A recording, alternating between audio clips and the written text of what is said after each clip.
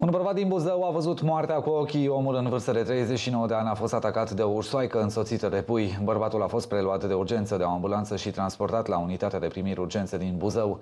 Victima ursoaicei s-a ales cu multiple plăgi, însă se află acum în afara oricărui pericol, spun medici.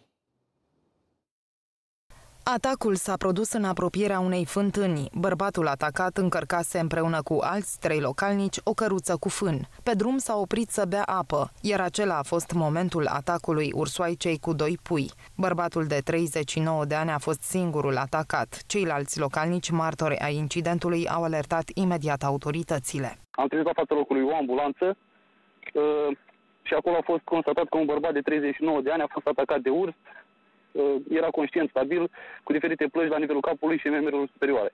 El a fost transportat la UPU Buzău. Bărbatul atacat de urs în localitatea Chioșdu a ajuns la spital cu multiple leziuni la nivelul capului, feței, cervical posterior, hemitoracelui și brațului stâng, însă era conștient și cooperant. Între timp, la locul atacului s-au deplasat vânătorii, jandarmii, un medic veterinar și primarul din localitate pentru a prinde ursoaica.